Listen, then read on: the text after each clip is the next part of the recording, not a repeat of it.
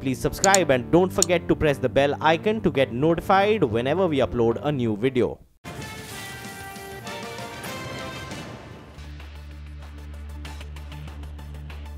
Good afternoon. Welcome to Halftime Report. 12 noon, halfway through the trading session.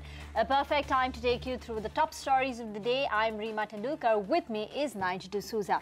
Well, it's a good start to the truncated week. The benchmark indices have had a fairly steady and strong morning up until now. A gain of more than half a percent on the benchmark indices, outperforming the rest of the global markets, especially Asia.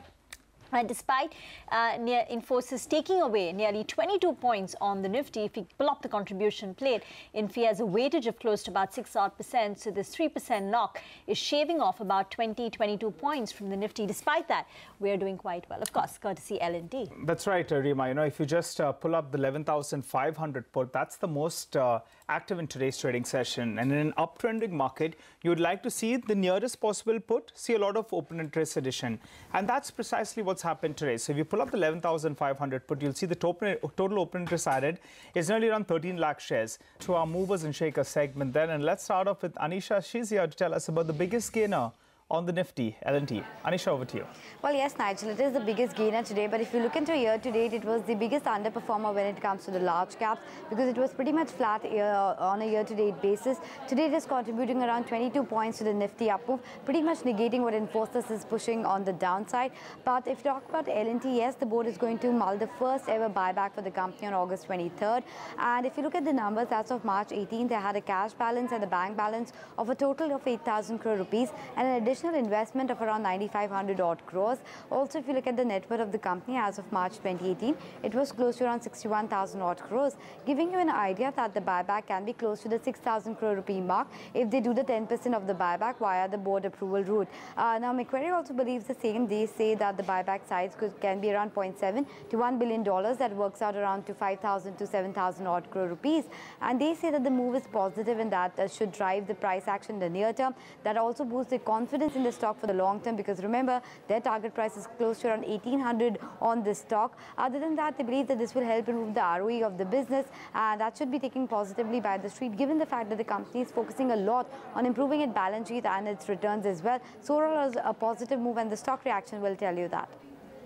Okay, all right. Thanks so much uh, for that, Anisha. Well, that's the biggest gainer on the Nifty. But what's dragging the Nifty today is Infosys. On the weekend, we had news of resignation. Reema, tell us what does this mean? It's a near-term negative. The stock is down nearly 3%. Yes, so the MD, uh, sorry, the CFO, MD, MD Ranganath, has resigned. He will continue to hold on to the position till the 16th of November in order to make the transition, a smooth transition for the new CFO to take over. But he's been with the company for the last 18 years and his contribution has been invaluable, which is why his resignation has come as a setback for the company and the stock is down close to about 3% in trade. Now, Morgan Stanley has downgraded the stock to an equal, equal weight rating.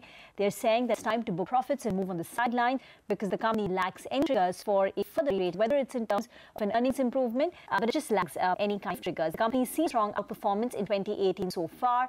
Uh, its valuation currently currently at 20, 18 times forward multiple is in line with its historical averages. While this announcement may not have an impact on the company's finances, but uh, concerns around leadership stability, that further top management exits will continue to remain an overhang on the stock, and even um, you know the possibility of you know the company's financials improving from here on, say revenues and margins, all that is baked into the price. Um, so uh, that's the reason why they have downgraded the stock to an equal weight rating. JP Morgan says it appears that the company is struggling to keep the top management flock together uh, the CFO, MD Ranganath, has presided over two buybacks, a special dividend. Um, he's managed to uh, hold on to his costs very tightly, you know, hold on to their margins despite their revenues coming under pressure. So he's done a good job as a CFO. Um, they say that TCS's valuation premium over Infosys may expand, and this development may also entail a longer and a tighter involvement by Nandan Nilekani, who made a comeback into the company a year ago. The CFO, generally speaking, is not the most critical officer in an IT services company, considering the kind of cash Indian IT companies generate. The stock has had a good run and therefore may pause. Citi says that going ahead as well, high attrition and senior level exits will create challenges in terms of execution. The attrition in the prior quarter went up by 200 basis points year on year, despite the steps taken by the company to curtail it. For instance, they had increased the compensation for 85% of their workforce from April. So they expect a negative reaction in the stock in the near term, but over the medium term, it will depend on the kind of growth Infosys clocks in. Okay, all right. Reema, thanks so much for that. Well, Apollo Hospitals has posted a largely inline set of earnings. Now, while the hospital EBIT has improved and the pharmacy revenue has come in quite steady, we spoke uh, to Suneeta Reddy, the MD of Apollo Hospitals earlier today to ask about the outlook going ahead. Let's listen in to what she had to tell us. Look at the last one, you know, in, uh, in the sense of asset utilization and how we improve occupancy. Currently, across the board, we're at 65% occupancy. I think we have the potential to move to 75, especially in the new hospitals where the occupancy is at 62. We'll definitely see an improvement in margins.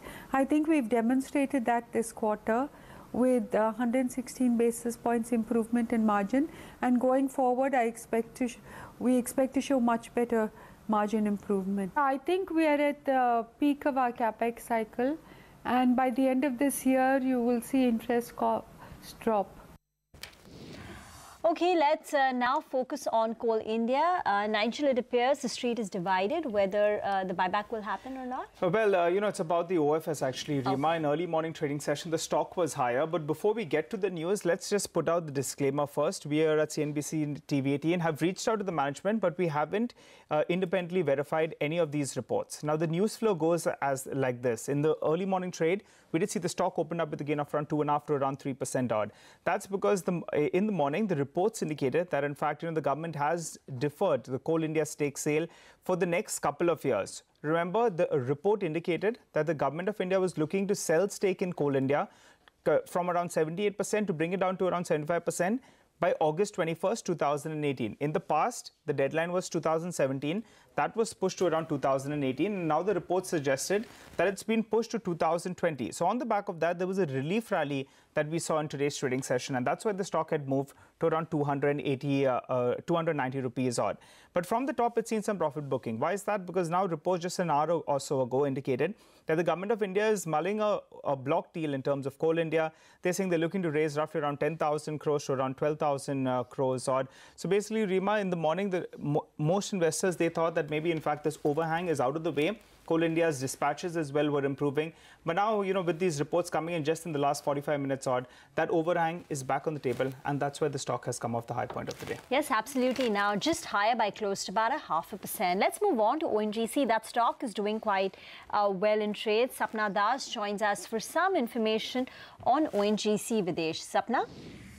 Absolutely. In fact, uh, this has been uh, widely discussed within the administrative ministries and finance so basically, what we are given to understand is that um, uh, at least the finance ministry is keen on the OVL listing. So uh, they have already reached out to petroleum ministry with a communication. Uh, there is no timeline as of now as to how and when the government plans to take it forward because it's going to be a completely consensus, uh, uh, you know, a, a, decision taken on consensus with petroleum. But we are very clearly given to understand that an IPO of OVL is what, uh, you know, at least the finance ministry would like at this point in time. This is likely to unlock, unlock further value for ONGC. Uh, that's the kind of perspective uh, that the government has as of now. Uh, by SEBI regulations, uh, you know, your IPOs are generally at least 10% uh, given so. Uh, but here, possibly looking at the size of the company, the parent as well as the subsidiary, uh, probably a higher percentage for an IPO may be planned. But as I've just also said, there is no timeline for this transaction as of now. It's at a discussion stage right now, so you have to see how it goes forward. But definitely an IPO proposal has been pushed forward by Finance to Petroleum Ministry. Okay, all right. Thanks so much for that, Sapna. Well, rain has finally subsided in Kerala after almost two weeks of incessant downpour and also resulting in a flood situation. We spoke to various companies on how the situation has affected their business. Here is what Federal Bank, Muthoot Finance, as well as Titan had to say. To my mind, for sure, the comeback uh, in some of these areas will be very stiff. I mean, when we were in the middle of it on Thursday, even I was worried whether we'd be able to get, get back to work Today we are all back in full flow, and uh, people have to live, right? People have to win back their own uh, life. So I am quite confident that uh, this we should not over trumpet the problem and create a situation. Uh, I think I think the maximum impact would be in certain pockets, which has to be dealt with sensibly, just like the way various other crises have been dealt with. But you will see the comeback is quite significant and swift. Through SLBC, through IBA, and ourselves, we are reaching out to RBI, presenting the case. Uh, we may not get an uh, outcome in, in a few days, but I'm sure by end of the month there'll be clarity on the regulatory forbearance, if there is any, that can be brought to customers because they surely need uh, time to regroup. Our 590 branches in Kerala, around 75 80 branches is in the territory you mentioned right now. Kerala business is a large remittance business. I see both rupee where it is and the need for money coming in. Remittance will increase at least 40%, which will be a massive benefit. Rebuild will be a massive benefit. Demand consumption increase because of people having to get their lives back some challenges in geographies that need infra improvement. That's the commitment of the state. I think that will happen. And there's resources is not going to be the issue. Less than 5% or 4 to 5% of our business comes from Kerala because Kerala is generally seen by us as a resource mobilization state and not as a lending state. But uh, as far as the impact of the branch uh, the on the branches are concerned, only three of our branches, which were on the ground floor, have been affected to, due to this flood. As far as the NPAs are concerned, since we have the gold with us, the NPAs is just a technical NPA, and we are fully secured with the gold always with us. So I don't think there is an impact on that on the P&L. Generally, softening of gold uh, prices is good for business. Um, having said that, I think the industry is still uh, not um, uh, as buoyant as it used to be in the past. We've talked about that for the last six months or so. Um, so to that extent, there is some softening of the demand, uh, but hopefully the uh, softening of gold prices should help. The southern states generally have been hit quite badly. At least Karnataka and, and Kerala have been hit very badly. Uh, due to the rains. So uh, one is hoping that uh, things settle down there fast and it picks up. Okay, with that, it's time for a quick recap of the top buzzing stocks at noon. We've got L&T, Infosys, Federal Bank, Muthoot buzzing stocks at noon. We've got L&T, Infosys, Federal Bank, Muthoot Finance, Titan, Apollo Hospitals, ONGC and Coal India. And some statements coming in from Capital First to CNBC TV 18 that all the major approvals for the merger with IDFC Bank are in place and they will seek IDFC Bank shareholder approval in early September. So Capital First too has seen a positive spike on the back of these statements. Let's uh, shift focus to Sarda Energy. That's the next stock in uh, focus. Remember, they posted a rather good set of numbers actually in the first quarter. But what's the outlook post that? Uh, it seems the street is already excited. The stock has already moved to the high point of the day. But let's understand what's going on and what's the outlook from here on. We have with us Mr. Padam Jain, the director and CFO of the company. Hi, Mr. Jain. Thanks so much, sir, for uh, joining in. Well, uh, sir, we wanted to uh, ask you, uh, firstly, what is the current prices? If you could give us a sense of what are the pellet prices currently in comparison to quarter one. Similarly, with regard to sponge prices, what was it? What is it currently? And if you can compare it with quarter one average. Yeah, the currently prices of pellet and sponge have moved up substantially mm. uh, as compared to the average realization of uh, 5,900 in the first quarter. Mm. Our present uh, pellet price is hovering around 7,300. Oh. And in case of sponge iron, our average realization was uh, 19,000. Now uh, it is hovering around 23,000 present price. So there is a substantial increase in the prices as compared to the average realization of the first quarter. Okay. Uh, Mr. Jain, uh, that's a big jump, right, in realizations. Is it sustainable? Uh, marginal, there may be some marginal corrections. Presently, there has been substantial export, but yes, definitely more or less prices will remain sustainable, it appears. Hmm. There may be, because there is a sharp increase, there may be some correction from this level, okay. marginal. So what has caused this kind of a jump in prices? Pellet prices at 7,300. Is there good demand coming in from China? Are you exporting or is it? Uh, Yeah, you know- there are substantial exports from India. okay. Uh, that has uh, created a demand for pellets. So you are exporting as well? Yeah, we are also exporting. So all this increase that you're talking about, it's all for exports or is, even in the domestic market, we're seeing such robust pricing, particularly for pellets? Yeah, it is even in the domestic market because ultimately price parity will always be there. If someone is getting a price high price in export market, hmm. they'll always shift there to automatically demand supply in domestic market will change and the price of a domestic market will also come at par with the international market. Okay. So this uh, increase in prices is purely on account of demand, higher demand, and what are the kind of sales volumes you've seen in Q1? And if you could share some outlook for the full year, you know, your expectation of uh, sales um, or volume guidance.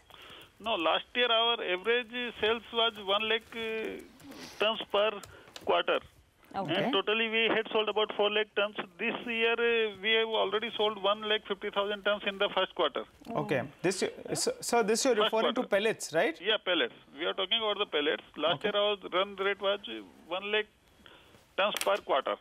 And this one and a half la, uh, lakh tons per quarter in terms of pellet sales, is this kind of a volume run rate sustainable for the full year? Can we hit 6 lakh tons? Yeah, we expect to maintain the volume. Okay, so 6 lakh tons is what you're looking at uh, for this year. All right, sir. So uh, if you could tell us also, sir, about your deleveraging plan. Uh, I remember the last time you joined us, you told us your total consolidated debt was around 1,050 crores, if I got that number right, correct? Yeah, right, right. Long-term debts. Okay, so do you plan on uh, reducing your uh, debt from those uh, levels? If you could give us a sense. And also, what is your borrowing cost? You were telling us last time that you were looking at refinancing uh, your loans. Have you done that? No, so far as uh, this uh, leveraging is concerned, uh, our total long-term loan remains more or less at the same level. At consolidated level, at standalone level, the debt is uh, company is almost debt-free at the net level, net of the liquid investments.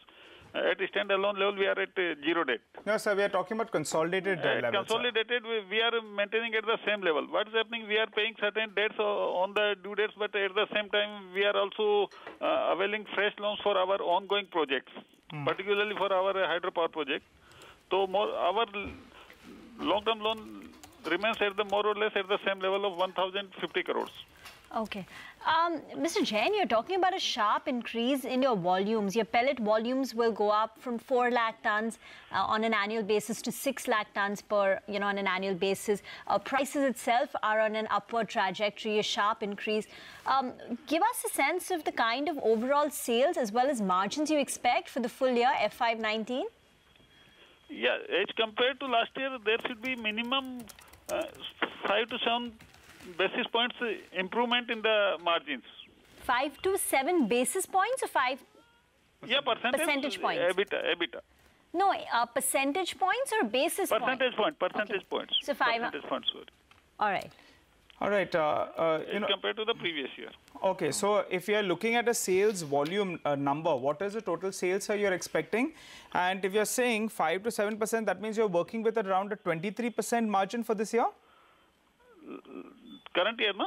Yeah, for the current yeah, year. yeah, yeah. We expect to have margin around that. A margin around 23%. Yeah. Margins around 23% and top line should be what? In the first quarter itself, you have grown by more than 25%. So for the year, what kind of a sales? Uh, we have, our revenue has increased by 17% uh, YOY. okay, so what kind of a numbers are you looking at for the can year? uh, assume the similar increase in the uh, annual basis also. So 2,500 crores is doable? Should be. Okay. Depends upon the pricing also, volume is there. Definitely both way we will have the increase on account of the price as well as on account of the volume. Miss, Mr. Jain, you're sounding very confident, you know, and we have to tell you that uh, from the minute you appeared uh, on the channel and from the time you started giving us your commentary, your stock is up nearly around 5.5% approximately. Wanted to ask you this question, sir. Your stock price has fallen from around 600 rupees to sub 400 rupees. Any possibility of the promoters coming and supporting the stock at these levels? I know you already have more than 72.5% in the company, but uh, will the promoter, you know, uh, look at increasing a stake, given that you're saying everything's so positive? No, promoters are already holding, as you told, ki we are already holding Yeah. 72.5%. And Yeah. ap- at appropriate time, if in past also gradually we have increased, not in a Okay. uh, big way. Gradually, whenever required, whenever we found the opportunity, Okay. uh, we have always invested. Okay, In let's- Three, let- four quarters, we have increased the. All right, you're keeping it open-ended, sir. So let's talk about your total coal requirement. What is your total coal requirement? How much of that are you getting via linkage? And are you receiving all the linkage? Because, uh, you know, a lot of customers tell us that only power plants are getting coal.